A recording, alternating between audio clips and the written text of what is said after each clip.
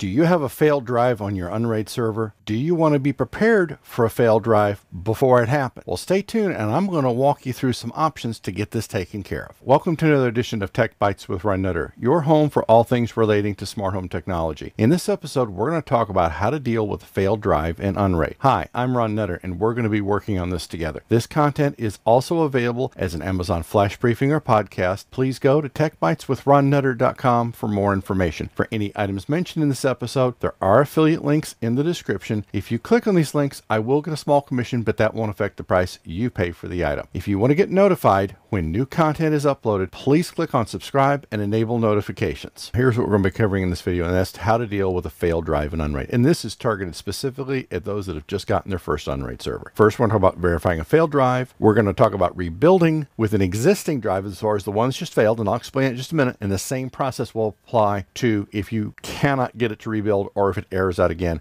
rebuilding with a brand new drive. And then we'll talk about a review of the four tips, which is going to be in more detail in another video. This will help you deal with some of the failures that you may run across a little bit easier and be a little more prepared for the next time. Now, dealing with a failed drive or one that's failing, sometimes you'll get a little bit of advance warning. It's not something that any of us wants to deal with. But unfortunately, it's a fact of life. When you deal with mechanical devices, occasionally they're going to go down the proverbial drain hole. So let's walk through what you'll expect to see, and we'll go through a couple of different ways of how to deal with it. So we'll switch over here to my Unraid server, and you will notice two things. Well, the one that stands out in front of you is the messages here. First, it had check at about noon. It thought it was okay. And then about 223 it went ah we got a drive with problems and then it proceeded to repeat that error with a little more assertiveness saying uh, Houston we have a problem. If you go over here then you will see the red X. That's the telltale sign. We're going to show you this one way of doing it and it will work for both of the situations. The first thing we're going to deal with is rebuilding to an existing drive. And I did this deliberately the first time I ran into a failure because I wasn't too sure if the drive was actually failing or what was going on on. The errors did come back, which is what you're seeing this time. So with that one being a red X, okay, you're running on the parity drive at that point and what's been spread across the other drives. But so we don't want to let that one run too long. Fortunately, I'd already ordered a replacement drive. So we will go in here. We will first, you got to take the array offline. Now we'll notice here it has, it says SDE, but I'm looking at the, the last four of the serial number Z zero David Romeo. Okay, we'll we'll look at that here in just a moment. So we're gonna have we unfortunately, unless you have a hot swap chassis, and those are get kind of expensive, we're gonna have to stop the array. So we will stop the array and then the screen's going to change on us and while we're doing that we can go ahead and close these notifications because I think we kind of know we have a drive problem. It'll take it just a second to stop things because I did have a my Plex server running on it, and there's never a good time to take it down, so I'm just going to have to bite the bullet and do it. So it should come down here in just a moment. And so you can't click on stop again. So it is working on it. Okay. Now that it did stop and you see it's carried over here disk two, which I was careful on how I laid it out that it should be on cable number two, but we're going to look at this Z0DR or is it ZO? That's hard to tell with some of the fonts they use. I would say it's probably Z zero DR. Anyway, we it's it's unique when you compared it to the other four. So what we have to do is we first have to take this one out and we'll take it to no device and then we'll start the array up so that it knows that it's not there. I'll take it just a moment to go through it. Now see it's it's already gotten a pop-up message that we've that we have a you can't see it because of me. Uh, we've already gotten a pop-up message that the array now is considered good. It says not installed but it knows something is still there. So now what we're going to do is power the server down and go in to pulling out the drive putting the new one in. I'm not going to make you sit through all that because i think we all know how to replace a drive. So i just heard the server beep and is in the process of shutting down. Once we get the message here that the ser- the system is shut down then i'll get the case opened up change out the drive and then get it powered back up and we can go through the rest rest of the process. As you are installing your latest smart home device, grab a copy of my smart home checklist. This will help you record information about each device as you set it up. This will prove helpful when you need to find out where to get the firmware updates from or support on that device.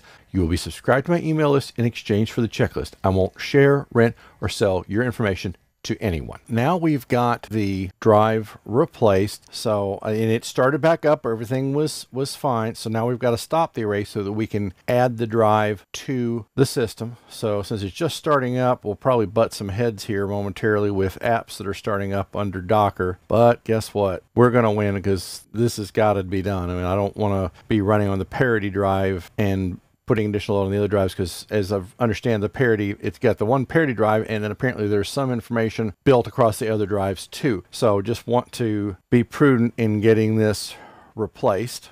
Okay, now that we've got this replaced, now you see where it had unassigned in disk 2. So we'll click on the down arrow and then we should see the drive that I just put in and it sees that it is a different drive. And this is the same process you go through if you wanted to try to remirror a drive that it looks like it's failed because I've had sometimes things be false positives. So we will click on start and then it should complain here in just a moment about being unmountable. And by the way, where where the drive was in the cable, it was not on the disk 2 connection. So it's just however it spun up the first time. And this drive literally just arrived a few hours ago because I had a feeling this one was probably going to happen and it's automatically rebuilding. So I thought I was going to have to go ahead and manually add it, but it's obviously happy at this point. Just checking some settings down in here to make sure we don't have any other surprises. You will want to record anytime you're changing drives to go ahead and put the manufacturing date in.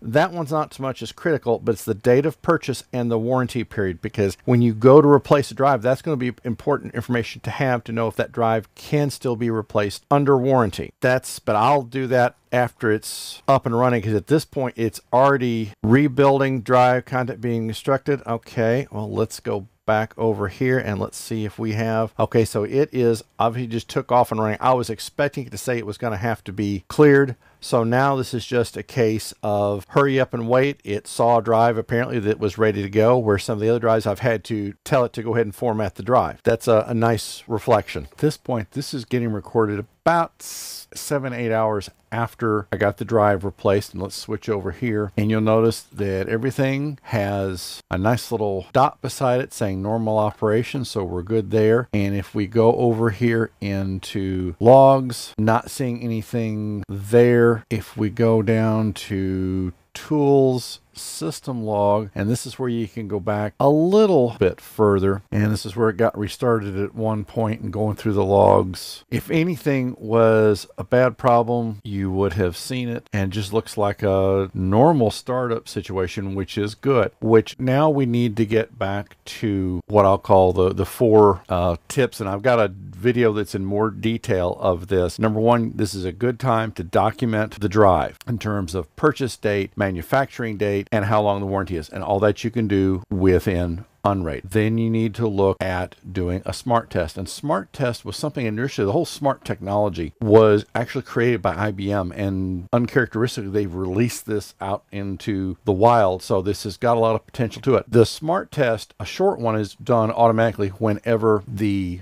drive is installed in the system. But you have the option of doing a short or a long one. The short one is normally what's done and is supposed to catch most of the problem. But what I would suggest doing is at least once a month or when you've made major changes to the system, run an extended test. Now, this is going to take several hours to run, so you don't want to run this a lot. But the short test will kind of give you a, quick and dirty, yeah, this is where, where things look like they stand. And a long one will do a little more, not invasive, but a mo little more in-depth testing. So especially if you were saving some money on drives and bought one maybe that wasn't of the kind you'd normally use, it's good to check this. Now you have to do that individually on each drive and it's not something you can schedule. And I would suggest probably doing it at a time when Unraid is at its minimum usage so you're not competing with resources. The other thing to look at will be how many parity drives are do you want to have? You can have two is what I've looks like the max that I've seen that you can have within Unraid because of the drive failure I've experienced in the past week and since I've got a small number of drives and I granted I bought desktop level drives instead of getting the NAS drives, and I'm in the process of rectifying that one, then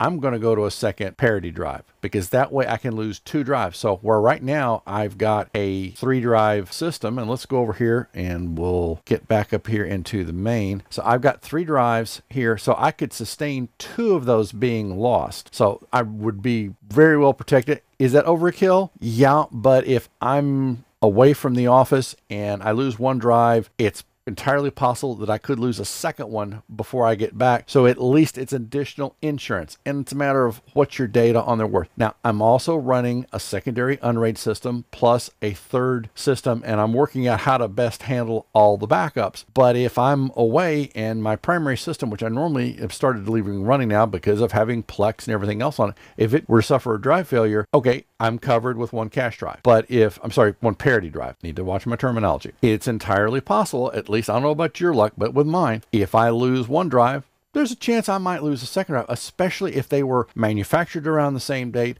put in service around the same date. You see where this is going. So it's a matter of how what your pain tolerance is for having a system go down, even if you've got backups. Because years ago I ran a pretty good sized computer bulletin board and I had a drive fail. I had three sets of backup tapes so equate that to two two additional NAS systems running beyond the one I've got because that was before RAID was even a, a, thing, at least with the hardware that was available to my level. And this way I can have a lot of backup because I had three backups and I still lost data during the restore. So with having Unraid the way it's set up and two parity drives, you're taking as much reasonable precaution as you can. And it's just a matter of what are you prepared to lose. And with having multiple NAS systems, okay, I've got backups, but one of those really needs to be offsite. And that's something I'm going to work on because I don't have a good option at this point that I've been able to find. But you've seen what to go through when a drive fails. And this was something that I knew I would experience at some point, but I barely had the system online for two months and I had a drive go. So it, it is entirely possible that it can happen. But take things one step at a time, and you can always practice a dry failure. You don't have to have one go out, but you could go under here, stop the array, unassign one of the drives, take it out, and then go through the reboot process. Basically, go through everything that I did. And so that way you are prepared. I would encourage you to set up a secondary system to do this. If you only have one Unraid system, only if it's you have no other choices and you've got a dry fail, would I do this on a production system? Now, granted, that's a little conservative, but I'd rather rather have a little less pain now and be covered instead of taking possibly a production system down, doing something wrong, and then really having shot myself in the foot. But you see where this is going, and this is a learning experience. And besides, you can set up Unraid on a desktop system and throw a, a, a multi-port SATA card in, so you can do some testing very easily, and it doesn't cost you anything other than tying up a few resources. That's also a very affordable manner in which to set up a system where you can learn to unassigning and reassigning drives without risking your main system, especially if you don't have any other backups. If you're watching this on YouTube, you will see videos on the screen that are similar to the one you've just watched or other content that YouTube thinks you might be interested in. If this video helps you or provides value, please click on that like button, thumbs up. If you haven't already subscribed to the channel, please click on subscribe and enable notifications. We'll see you in the next episode. Thanks for watching.